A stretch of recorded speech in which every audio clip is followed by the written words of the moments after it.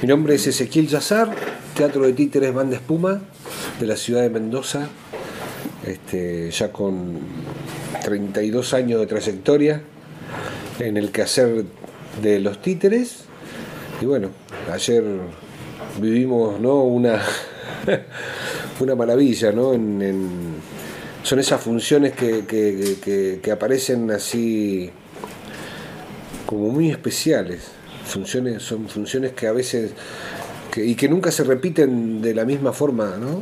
No, es el titiritero o el actor o el artista, ¿no es cierto?, en el, que, el que genera eh, eh, los sentimientos o lo, o lo, que se generó ayer en esta, esta función en la cárcel de mujeres. Este, eh, el hecho teatral lo generan todos los que participan de, de, ese ritual, digamos, por así decirlo, o de esa convención también en la que todos los que estamos involucrados este, entramos en una convención de, este, de, entendimiento, de comunicación, ¿viste? Y de, y de, y de entrega en el, en el que suceden lo que, lo, sucede lo que sucedió ayer. Estas mujeres que en ese contexto de encierro, yo creo que por un momento eh, por un momento salieron de ahí, ¿viste?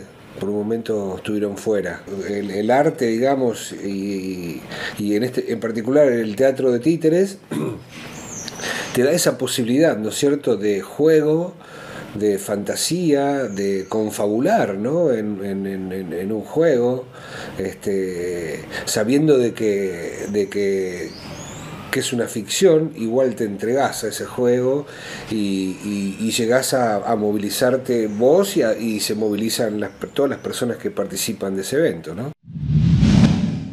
La llegada fue una cosa eh, eh, montar fue otra cosa, iniciar el espectáculo ya pasó a ser otra cosa y este, la llegada fue eh, muy incierta, ¿no? no sabíamos qué iba a pasar, ¿viste? O sea, no sabemos qué, tan, qué tanto resentimiento por ahí tienen las mujeres ahí adentro, qué nivel de enojo, qué nivel de paciencia o qué nivel de de frustración, o sea, deben haber un montón de cosas que les pasa a, esas mujeres ahí y se siente un poco ¿no? la, cosa ahí que contenida. Este, ellas mismas lo dijeron, nosotros no, no queríamos venir, ellas dijeron no queríamos venir, no nos interesaba venir y a eh, se sentaron y bueno que también porque el sol pegaba, ¿no? Bueno, y una vez que empezó este, la función este, con dos o tres cositas que, sucedieron, yo me di cuenta de que ellas estaban entregadas plenamente al suceso no se resistieron a, que ocurriera una vez que empezó. Y ya cuando empieza a transcurrir y empieza a como a girar, ¿no es cierto?, a andar el, carrito, este, ya se dejan llevar, ¿no? Y ahí se acomoda todo, este, van entregándose a esa fantasía, a ese juego, y la verdad que bueno, este, terminamos todos conmovidos, ¿no? Y en ese juego, digamos, en, en esa teatralidad, en esos espacios, todos somos iguales. Ahí no hay escalafón que valga. Definitivamente. El títere puede decir cosas que no puede ni siquiera decir un actor. ¿No? O sea, porque es un código, es una convención. Entonces lo está diciendo el títere y lo, dice con humor y, con juego. Y entonces entra, entra de otra manera, ¿viste? Entra de otra manera.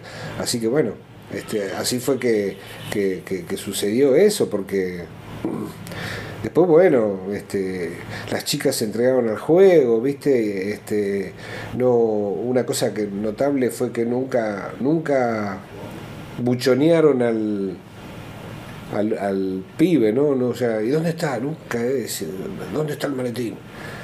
Y nadie decía nada. ¿Para dónde se fue? Nadie decía nada esa particularidad, ¿no? De, que no, no mandan al frente, ¿viste? Claro. Y bueno, yo la verdad que salí muy conmovido de ahí, ¿viste? Con el pecho abierto, ¿no es cierto? A, que en carne viva este, con ganas de seguir ofreciendo este tipo de cosas, ¿no? Permanentemente. Eso es el fin, digamos, para mí, de, el, objetivo principal del teatro o, del arte, ¿no? Del arte en general, poder movilizar, poder este, conmoverse desde el principio hasta, hasta que habló la mujer esa conmovida y agradeciendo por, toda, por, todas las, por todas las chicas que estaban ahí, que tomó la voz y, este, y bueno, de hecho ya las chicas querían que fuésemos a hacer talleres de títeres y querían que, sucedieran cosas, ¿no? Sí, acá dentro del Crubicas este, tuvimos funciones en el Centro del Conocimiento este, y eh, todas las funciones en el Centro del Conocimiento, primero con chicos de escuelas y después este, con público en general, público abierto. Y, bueno, también muy linda experiencia porque la gente después de, este contexto de encierro en el cual tuvo que transcurrir varios, varios meses con lo de la pandemia, la gente salió predispuesta a a poder eh, transitar estos momentos ¿no? Eh, que son mucho más fuertes que cualquier audiovisual o cualquier este, cualquier propuesta virtual entonces este eh, la gente estaba maravillada se maravilla los chicos se maravillan los padres los padres algunos van como medios así que no saben qué pero una vez que empieza y que y que, y que sucede la cosa este ocurre ocurre la magia para adelante eh, queda seguir este, eh, creciendo, eh, investigando, aprendiendo, porque uno aprende permanentemente. Para adelante queda seguir luchando por los derechos que necesitamos para que esto pueda ocurrir de otra manera, que pueda ocurrir este, un poco más formalmente, no, no en la informalidad en la que estamos, y este, queda convencer a mucha gente de que el arte es una expresión este, que, hace bien, ¿no? Es un, es un lenguaje, el arte de los títeres, que este, permite eh, formar chicos con sentido crítico, ¿viste? Ante la vida. Y bueno, este, también convencer a, algunos, algunos promotores, productores y demás de productores o, gestores culturales que están ocupan lugares en el gobierno eh, que puedan convencerlos para que puedan eh, instaurar y establecer este, programas que a los artistas nos saquen un poco de la incertidumbre, ¿no?